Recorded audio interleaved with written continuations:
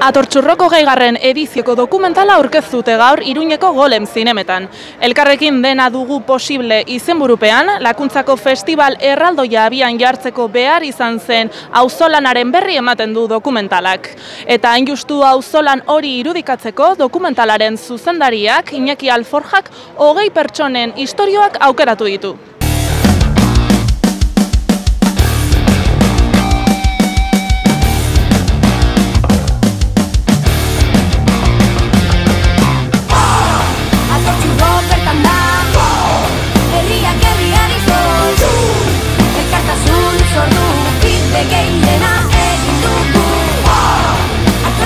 Honekin hasiko ginen, ba, maiatzan edo bigan zazpiko maiatzan, hau da, jaialdia bera baino pare bat hilabete lehenago, hasi ginen ja, ba, ideiari, ideiari bueltak ematen, azkena ikusi genuen e, lakuntzako zita izango zela benetan zerbait garrantzitsua, eta iruditzen zitzaigun horrek izan bartzuela emaitza bat, e, lau egun horietatik aratagoko emaitza bat izan bartzuela, ez?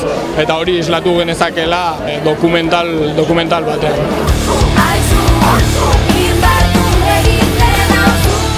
Bueno, beti esan dugu hau izan zela e, gutako askorentzako erokeri handi bat, ez? E, ongi ateratzen erokeri handi bat, baina batez ere beharrezkoa zen erokeri handi bat. Eta erokeri hori azkenean e, zabaldu egin genuen, ez? Kolektibizatu egin genuen. Eta islatu nahi izan duguna izan da hori. E, hau ez dela lau erok e, antolatu zuten zerbait, baizik eta izan zen herri batek e, antolatu zuen zerbait, herri batek aurrera eraman zuen zerbait herri batek ikusi zuen e, hau egitea beharrezkoa zela eta herri horrek atera zuen aurrera. Dokumental honen bitartez kontatzen ditugu e, hogei historio, baina izan zitezkeen e, milaka, ez? E, gutxi gora bera 6 mila pertsonaren artean atera genuen aurrera, eta azkenean uste dugu hogei pertsona hauen bitartez, e, 6 mila pertsona horiek ba, geratzen direla norabait e, irudikatuta.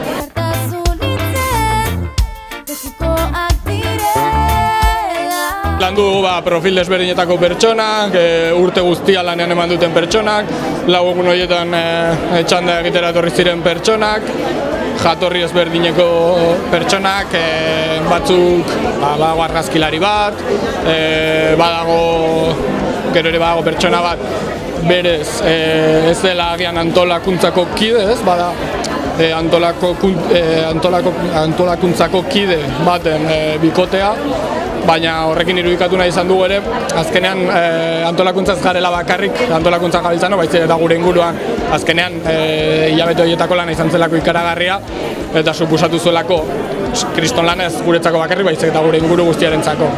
Orduan saiatu gara hori, profil desberdinak aurkitzen eta eta profil horien bitartez ba irudikatzen e, oso masa zabala, oso masa anitzak e, osatu zuela tortxurro. E, beste, beste lan bat da, baina lehen esan duan bezala e, uste genuen lan horrek izan behar zuela isla bat. Azkenean zuk e, antolatzen duzula uneko jaialdi bat, eta bertara doanak oso ongi pasatzen du, e, ikusten du ez, den kriston eszenatokia, kriston azpiegitura, baina ez ikusten azpiegitura horren atzean gertatzen dena. Oso zaila da, ni, ni, ni neu adibidez, e, atortxurroken hasi nintzen duela sei urte, ez duela bost urte barkatu, eta eta orduan e, ez nuen imaginatzen zer zegoen ba, barraren atzean, zer zegoen eszenatokiaren atzean, zer zegoen esien atzean, ez? Eta honekin azaleratu nahi izan dugu pixkat hori, azaleratu nahi izan dugu nola, nola jendeak ikusten duen e, horren atzean pertsonak dauden, e, pertsonak beren denbora jarriz, pertsonak haien indarra jarriz, eta azkenean bakoitzak bere, bere aletxo hori jarriz nola sortzen dugun e, gero kanpora begira kriston produktu bat, ez?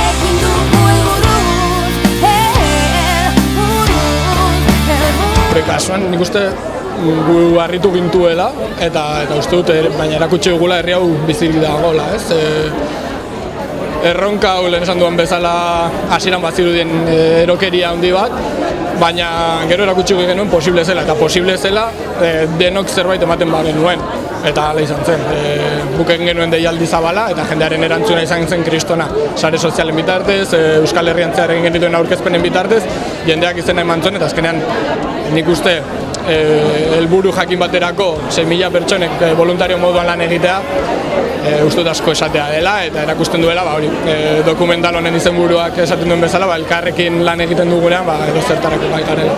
Guk atera dugun e, ondorio hori ateratzeko ez bakoitzak e, bere esparruan, bere herrian, bere, bere auzoan lan egiten badu, gauzak atera daitezke. Guk egia da, atortxurrok oso, atortxurrok hogei e, oso gauza handia izan da, baina bakoitzak bere herrian egin dezake, egin dezake zerbait eta eta denok, denok batu behar dugu azkenean e, e, hau aurrera ateratzeko. Eta bat da hori nik uste hori dela transmititu behar duguna. E, bakoitzak dituela indar batzuk, bakoitzak dituela e, baliabide batzuk eta azkenean denok e, zerbait ematen dugunean, ba, gauzak aurrera ateratzen ditugula. Aurreratzen aldugu dela guztiok ezagutzen dugu atortxurro jaialdi hori, ez? Itzultzen gara neguko formatu horretara, karpa batean, bi estena toki, e, gau bakarra, eta, eta bueno, e, aurreratzen aldut ezinbestekoa dela. E, antolatu genuen jaialdi erraldoi bat, udan, eta askok esaten digute, ez? Ez zaudete nekatuta, ez zaudete e, orain beste bat antolatzea, lau, lau hilabeteren buruan beste bat antolatzea, eta aurtengo leloa hori da, ez zuek gabetenik ez. E, udan sekulako jaialdi bat e, antolatu genuen, baina lau hilabete beranduago e, arrazoiek hor diraute. Oraindik ere irureun euskal preso politiko baino gehiago daude dispertsatuta, e, oraindik ere ehunka pertsonek egin badute astebururo kotxea hartu eta ehunka kilometro egin e, bisi, e, lagunak edo senideak bisitatzeko, eta horregatik atortxurrok oraindik ere ezinbestekoa. Eta ezinbestekoa bitartean ba, guk hemen jarrituko dugu antolatzen. Bet, beti, ez, beti azpimarratzen dugun ideia da, guk ez dugula jaialdi antolatu nahi. Edozein, edozein e, musika jaialdirentzako hogeita bat garren edizio bat antolatzea izango litzateke kriston arrakasta. Gure arrakasta atortxuan ez antolatzea izango litzateke. Alde horretatik, e, urtero e, antolatzea porrot bat da, baina aldi berean erakuste dugu indartxu gaudela, gogoz gaudela, eta hemen lanean jarraituko dugula, ba, denak etxean izan arte. Herriak herriari sortu Elkartasun sortu Kide gehiena egin dugu Bueno, ideia atortxuko, atortxurrokekoek eskaini zidaten, nahi zutela dokumental bat egin, e, e, hogeigarren edizioa zenez, nahi zuten zeo zer berezirik, berezia egin, eta, bueno, nik hasieratik ikusi nun e, oso idoia interesgarria zela, baina niretzat historia zegoela ez musikarena, musikaren e, aldetik, baizik auzolan e, erraldoi bat zela, eta Europan dut egiten den e, e, auzolanik a, erraldoiena eta hori da kontatzen duen historia.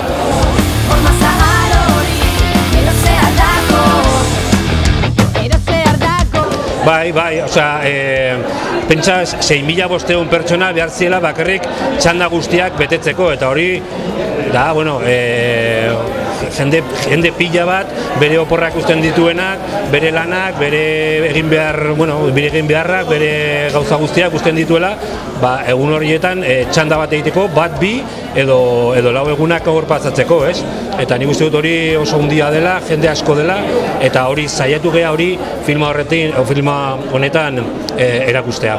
E, karo, mila pertsona dira eta orduan batzuk hartu behar genitun, eta orduan hartu ditugu hogei, hogei edizioa zelako, eta batez ere nahi genuen e, Euskal Herriko leku ezberdinetatik etorritako pertsonak izan behar ziela, orduan agertzen dira bai Baltierrasekoa eta bai Gorlitz edo, edo Gernikakoak, e, gero ere bai nahi genuen bai emakume eta bai gizona izatea, ez behar, eskat, orekatu historia hau, eta gero ere bai e, nahi genuen adin ezberdinetakoak izatea. Eta orduan pizkat profil hoie- hoien artean, ba, hogei hauek atera dira. E, bukaera e, alaitzuak gustatzen zaizkit. Eta, osea, gustatzen zait jendea e, zinaretotik ateratzerakoan indarrarekin, gogoarekin ateratzea eta hori lortzen balin badugu primeran.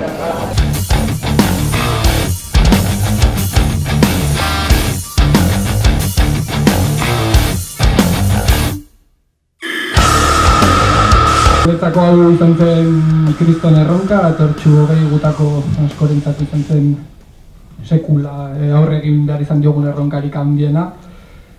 Eta, eta ba, hemen islatu e, nahi izan dugu ez, eta horregatik ba, mila esker gaur e, onatorri zaudeten guzti hori, mila esker e, dokumentalean parte hartu zuen guzti hori eta mila esker eh, dokumentalean eh, agertu ez diren eh, guztiei, ez, eh, esan du, kriston erronka izan zen. Eta erronka hori ez litzateke posible, eh, ba, 6.000 voluntario inguru, inguru gurengatik izan balitz. E, dokumental honen tituluak dio, ez, e, e, elkarrekin lan egiten dugunean e, edo zertarako gai garela. Eta nik pertsonalik eta uste dut e, e, atortxun parte hartu dugun gehienok e, irakaspen e, hori atera dugula, ez, e, e, elkartzen bagara, e, indarrak batzen baldin baditugu, e, atortxu hogei hau aurrera atera baldin ba genuen, atortxu hogei hau emaitza honekin e, atera baldin ba genuen, edo zertarako gai garela. Eta, eta oraindik ere e, erronka oso oso handiak ditugu aurretik, e, oraindik ere hirureun euskal perso politiko baino gehiago daude espetxe. Eta hori da gure erronka, ez? E, guzti horiek e, etxera ekartzea eta eta guzti horiek etxean ditugunean, ba, ba atortxu, atortxu ez antolatzea. E, dakizunez e, hori oraindik ez da posible, eta mendik bi astera badukagu erronka, erronka berri bat, eta eta erronka ba, hogei garren hau bezain, bezain garrantzitsua, ez? E, hogeita bat garrena da, ez genuke hogeita bi garrena egin nahi, eta horretarako lan handia egin beharra dago. Ba, besterik gabe e, denak animatzea lanera, e, denon artean egin genuen atortxu hogei, denon artean egingo atortxu hogeita bat, eta eta denon artean izarriko dituko entzera. Mila esker.